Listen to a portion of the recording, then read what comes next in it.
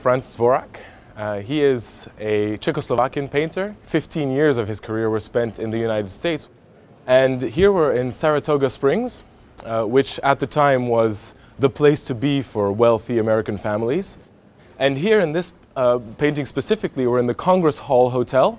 And uh, the depiction of the people that you see here are of the Vanderbilt family. And the reason why we can say that is because we clearly recognize uh, two members of the family, uh, one of which is William Kissam Vanderbilt II, and the other one is on this side, is George Washington Vanderbilt. That's really his name.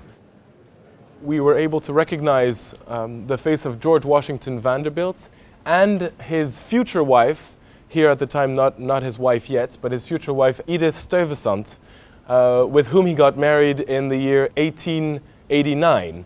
Um, and here, obviously, they're getting to know each other. You can see that they're, they're close, but they're not uh, very close. He has a still a very interested look, and he's obviously trying to, uh, trying to get her interest, and she's a bit hesitant, maybe with the, the finger on the, uh, you know, maybe a bit questioning, questioning the, what he's doing.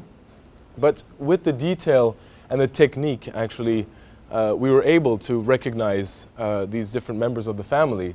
And that's what, that's what enabled us also to situate the painting and the family itself in time.